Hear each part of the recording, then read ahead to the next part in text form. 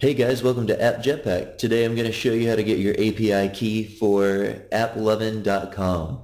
So let's go ahead and open up a new tab and go to www.applovin.com.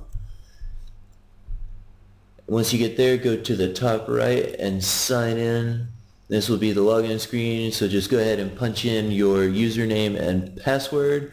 And once you sign in, you will be brought to the home page. Once you're on the home page, go to the top set of menus and we're going to click on account. And once you click on account, we're going to go to the far left and the bottom selection of the side menu is keys. After you click on keys, this long string of text will appear. It says SDK key, but for our purposes, this is what you need to put in next to the AppLovin box.